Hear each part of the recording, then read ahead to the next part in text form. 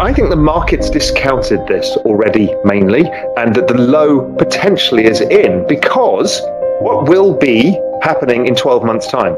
In 12 months' time, we will have seen a recession and we will likely be coming out of it. Whether we're fully out of it or not doesn't matter. A recession at some point in the future means that the Federal Reserve will stop hiking and will stop shrinking the balance sheet. And they will probably go towards cutting. In the future, in 12 months' time, the probability of inflation being, you know, at 8% is extremely low because of the year on year computational differences and the fact that oil, copper, freight rates, I mean, everything has come down massively. So I'm thinking that there is a probability that inflation goes negative within 18 months.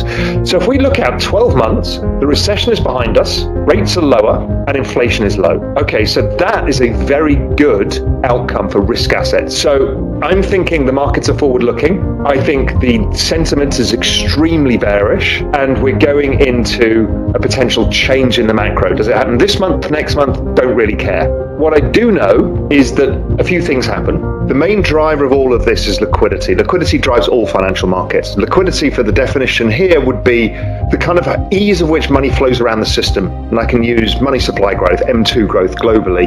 And obviously, with the central banks all jacking up rates and shrinking their balance sheets, what they're actually saying to you is we want to take liquidity out so you guys can't do as much speculation. Now, what that means is things like your credit card rate goes up, your mortgage rate goes up, you've got less money to spend on stuff. So liquidity, your liquidity has been taken out of your pocket. And it's the same for everybody, particularly because there's so much debt in the system. However, our job is not to live in the present. Our job is to live in the future. And we need to understand where the future lies. So Stan Druckenmiller importantly said that the job in macro is to see 12 to 18 months out because the asset markets tend to price the future. So right now we can hear people all on Twitter saying, we're going into recession. It's clear there's going to be another leg down in equities because they need to price in the recession. That's assuming that everything operates in real time, but it doesn't. So when I look at the year on year rate of change of, let's say, the NASDAQ, and compare it to the ISM index, which is my guide to the business cycle, the Institute of Supply Managers survey, it suggests that the ISM survey, the NASDAQ is pricing in ISM at around 40. ISM at 40 is relatively deep recession. ISM at 47 is usually a recession level, and 40 is something to the order of magnitude of kind of negative 2% GDP growth. So it's already priced in. The S&P is similar. Things like copper are close, oil less so, but coming down over time in line with the business cycle. The exponential age stocks, so the long end of technology, the ARK style investments, they priced an even deeper recession, so they got down to about 35 in the ISM, which was very, very low. The changes that happened were so staggering, and this is happening faster. And at the very center of it is a system of money and value, which means that in itself it is going to accrue value faster than anything else, because that's what it's actually doing, is taking value from old places and putting it into a new place. The macro is so which we've known for so long. You know, the massive debt, the bad demographics, the polarization of the world again, the deglobalization, the globalization, all the mess that that caused. All of that is going on in macro land, which is pretty miserable. So ISM going down, what does that say? It says that the probability of stimulus in the future is going up because the economy is slowing down. So basically, about nine months ago, ISM peaks and starts going down. So that tells you that in nine months' time, i.e., about now, we should start to see a turn of stimulus. Do we see any evidence of that? Well, in Europe, they're starting to do stimulus, but it's in this direct handout stimulus pattern that I've talked about in the past, which is, hey, listen, you guys are getting killed on your electricity bills, let us help you. It's still stimulus. You know, it's not central bank printing yet, but the stimulus coming into the system, and it's happening in China, it's happening in Europe. The Japanese are doing something different. They are expanding the balance sheet by buying JGBs and devaluing their currency. It's called yield curve control. The US, many states have given out handouts to pay for electricity bills. So at the margin, things are changing. The bond market's still thrashing around trying to figure this out because the quantitative tightening is um, confusing the picture for bonds because bond liquidity is ultra low, as bad as it was. Well, not yet as bad, but it's the second worst it's been since the global financial crisis. So there's an issue going on there. But generally speaking, if I look at things like forward break even rates, they're telling us inflation is kind of in free fall right now.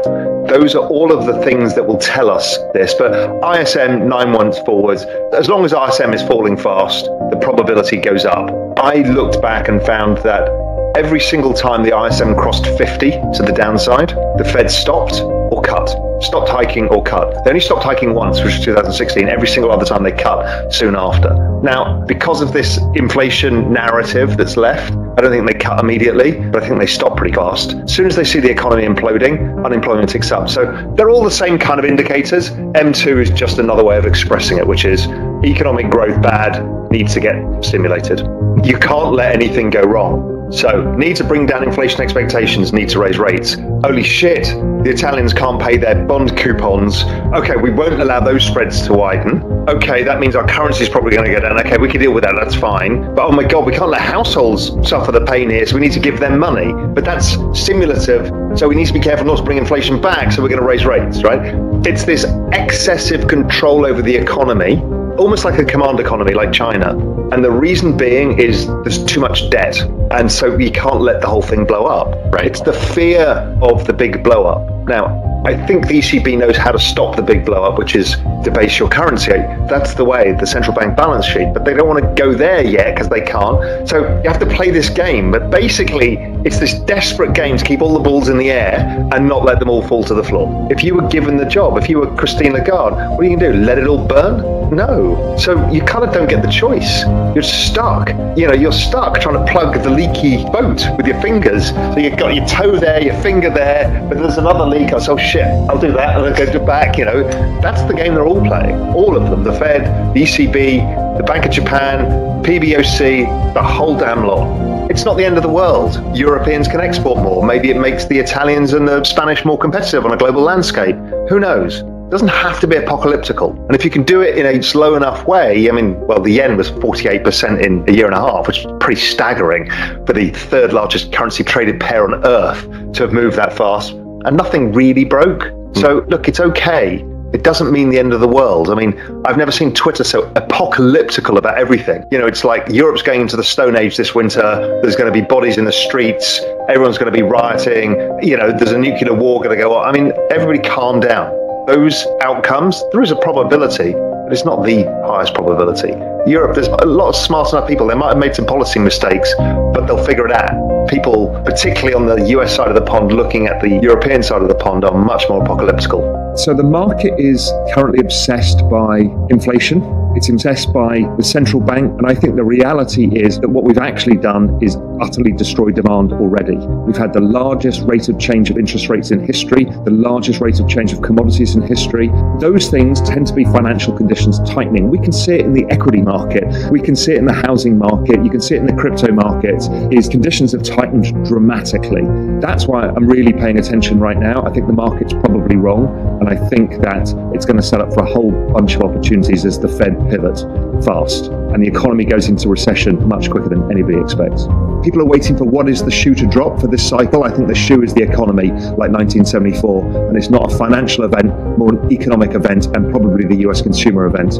Now, in 2008, the Fed discovered the new trick, which was the balance sheet. Now, if you understand the balance sheet as you expand it, automatically makes the S&P and other risk assets reprice higher because the denominator's fallen, that stops the rot because the collateral in the system goes up in price and everything kind of resets. And every time the Fed have used the balance sheet since, it's had exactly the same impact, which is an immediate turn in asset prices. An immediate turn once it was used in 2009. It had an immediate turn when it was used in the pandemic, and it had an immediate turn when the market started to sniff it out in 2018. I don't see any reason why the Fed won't do it again. So I'm anticipating a short, very sharp recession and a return to use of the Fed balance sheet, direct transfer payments to give money directly to poorer people, and the Fed having to support some parts of the markets again.